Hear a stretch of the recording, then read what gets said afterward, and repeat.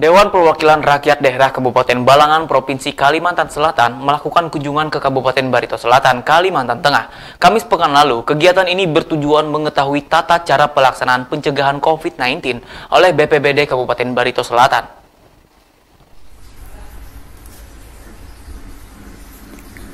Kunjungan kerja DPRD Kabupaten Balangan ke Barito Selatan kali ini dalam rangka mempelajari penanganan pandemi COVID-19 dan penanggulangan bencana di Kabupaten Barito Selatan, di mana kegiatan berlangsung di Aula BPBD Barsel pada hari Kamis 18 Juni 2020.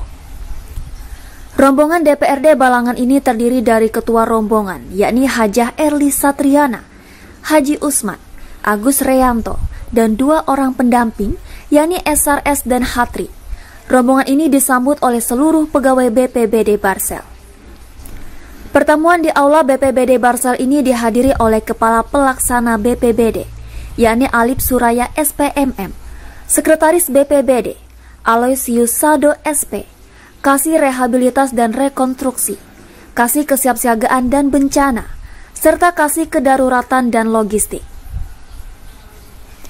Para anggota DPRD Kabupaten Balangan sangat mengapresiasi kerja gugus tugas percepatan penanganan COVID-19 Barsel yang menurut mereka telah melaksanakan tugasnya dengan baik, baik itu penanganan COVID-19 dan bencana banjir yang terjadi di Kabupaten Barito Selatan. Haja Erli Satriana menyampaikan, Kabupaten Balangan merupakan kabupaten pemekaran yang masih perlu banyak belajar dalam berbagai hal. Kami sangat bersyukur sekali mendapat ilmu apa yang kami dapat di sini, insya Allah akan kami bawa ke Kabupaten mana yang bisa kita jalankan kita jalankan yang mana kita belum.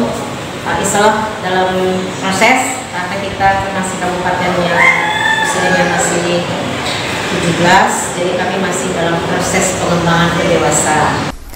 Ia juga menyampaikan dari pertemuan tersebut, anggota DPRD Balangan juga mendapatkan tata cara pelaksanaan dalam penanggulangan bencana, serta cara mengaplikasikan tata kerja BPBD di Kabupaten Barito Selatan sehingga nantinya dapat diimplementasikan di Kabupaten Balangan.